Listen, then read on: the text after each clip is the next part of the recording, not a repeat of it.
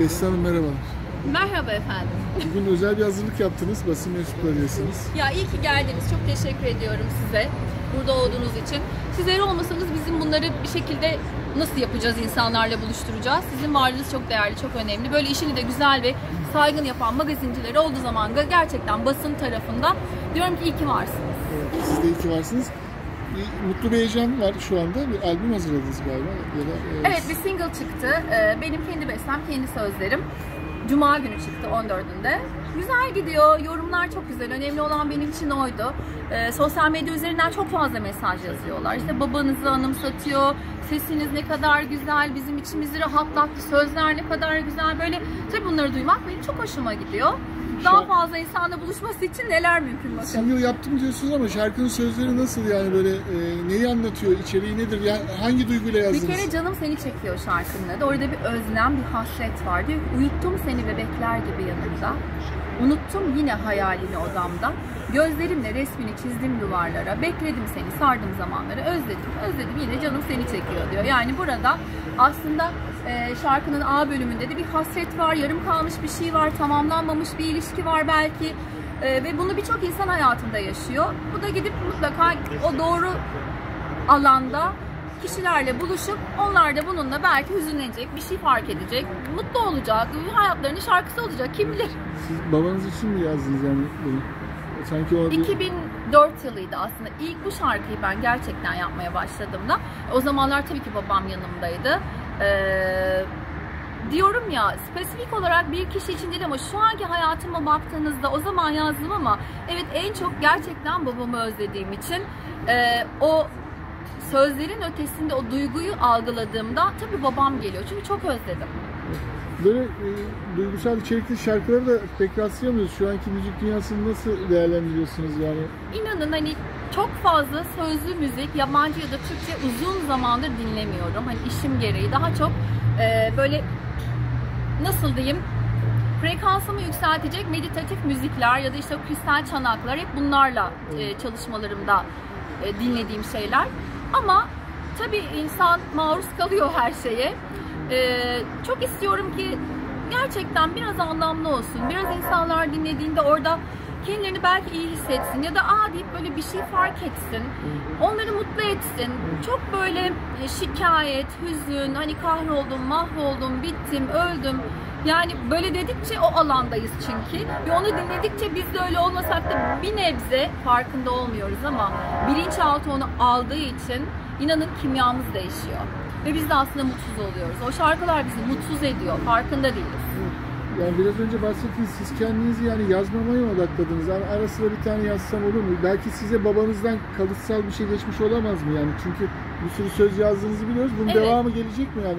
Çok kolay bir şey mi söz yazmak sizin için? İnanın çok kolay. Yani şurada bir mü- müzik duyayım ben ve onun üzerine söz yazayım. 15-20 dakika içinde onu bir taslağa çıkar ve 1-2 saat içinde biter.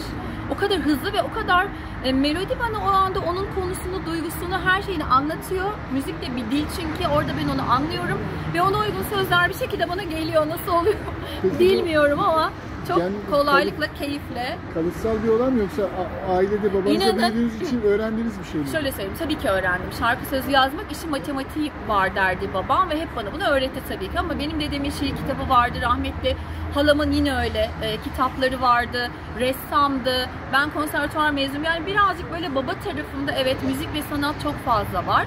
E, genlerimde de vardır diye düşünüyorum zaten. Olanın da üzerine bir şeyler kattığınızda böyle güzel şeyler ortaya çıkıyor. Single tek mi olacak yoksa devamını yapacaksınız herhalde? Tabii ki Haziran sonunda sevgili Şehrazat'ın Timsah Gözyaşları diye bana hediye ettiği, armağan edilmiş çok güzel bir şarkı var. İnşallah önümüzdeki günlerde ona başlıyoruz. Dediğim gibi Haziran sonu, Temmuz başı gibi inşallah o da çıkacak. Sonra yine benim bestelerim, benim sözlerim derken böyle ara vermeden arka arkaya.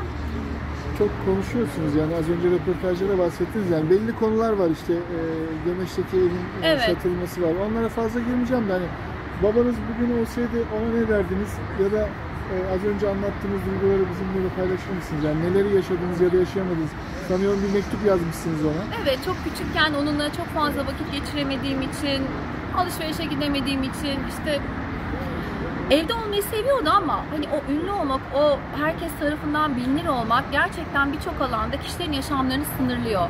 Babam da e, belki çok özel bir insandı evet ama belki biraz daha bu tarafta yumuşak olabilirdi. Seçmedi. Biz hep evimizdeydik. Hani ona o yazdığım mektupta da sana kızmıyorum. Türkiye'nin kayağını oldun. Benimle hani çok daha fazla zaman geçirebilirdin. Evet burada biraz üzgünüm ama sen Türkiye'nin kayağını oldun. E şimdiki bestede diyor ki yani her şeye değdi. Gerçekten hani o yaşadığım üzüntüler, eksiklikler, üzüntülerim belki içimde kimseyle paylaşmadım babama dair. Demek ki olması gerekiyormuş. Bu da beni güçlendiren şeyler aslında. Hani hayatımız bir tekamül ya. Bunlar da benim bunun içinden nasıl çıktığımla ilgili. Çok şükür şu anda daha güçlü. Babam olsaydı ne derdim diyorsunuz ya. Ee, ona bana kendim olmaya izin verdiği için teşekkür etmek isterdim. Çünkü e, her zaman o beni işimle ilgili hep destekledi. Dedi ki kalbin neyi istiyorsa, seni ne heyecanlandırıyor, seni ne mutlu ediyorsa git onu öğren, en iyisini yap. Ben de onu yaptım. Peki e, son olarak sanat camiasından mesela onun adını e, yaşatmak adına hani güzel projeler de oluyor. Yeterli ilgiyi görüyor musunuz yoksa? Şöyle söyleyeyim, e, ilgi evet her zaman var ve soruyorlar daha fazla bir şey yapmak istemiyor musunuz? Yani unutulmasın, daha çok dinleyelim. Ancak biraz önce de söylediğim gibi tek başına e, buna dair konuşabilme, e, fikrini hayata geçirebilmek tek başına mümkün değil. E, yalnız değilim çünkü bununla ilgili. ben daha çok dinlensin, daha çok kişi söylesin, daha fazla dinleyiciyle buluşsun. Dediğim gibi gençler daha çok bilsin. Çünkü o zamanlar 13-14 yaşındaydı. Şimdi yetişkin delikanlı ve genç kız oldular aslında her biri. Ve zannetmiyorum ki onların bildiğini. Ben onlara da bu mirası bırakmak, onların da bu güzel şarkılarla buluşması için hep isterim vesile olayım ama hani adımım sadece bir tane, öbürünün yanına alabilmem için eee, aynı düşünce ve fikire sahip olmaları gerekiyor diğer Hani biz anladık, mesaj aldık. Peki son olarak e, müzik severlere mesajınız nedir? Yani e, sizi mutlu eden, sizi keyiflendiren, sizi dinledikten sonra enerji olarak böyle "Aa!" hissederiz ya hayır böyle coşku ve o heyecan alanına taşırsa o müziği her gün binlerce defa dinleyin.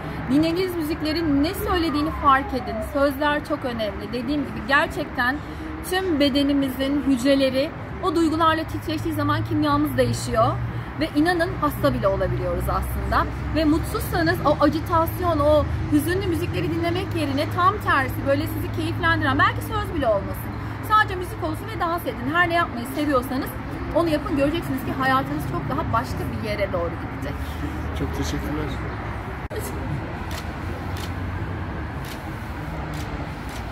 Genç ya. Genç enerji. Güzel kızlar. Tarkan ya. Bak var mı?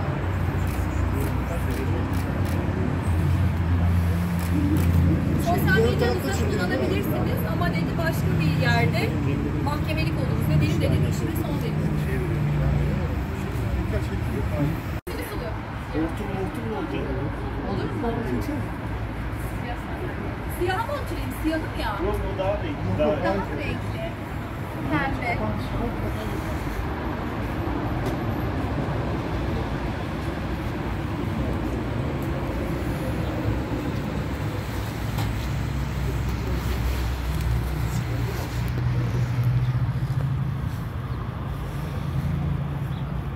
içi de o çek şeyi. Sen var ya. Onu içeri çekemiyorum canım benim. Mantılar, lahmacunlar, pizzalar, şenitseller, tulumba tatlıları. Başka ne yemiştik? Şöbiyet. İşte o gün yediğin şöbiyetten sonra gelip